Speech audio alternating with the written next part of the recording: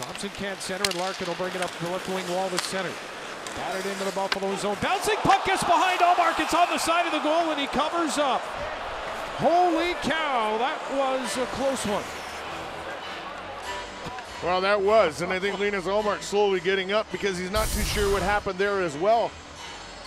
But this puck is just chipped in to the Sabre zone. He comes out to play it. As it's going through the big face-off circle, it hits something. And it's going to the corner in the left, bang, it hits something and it goes directly right.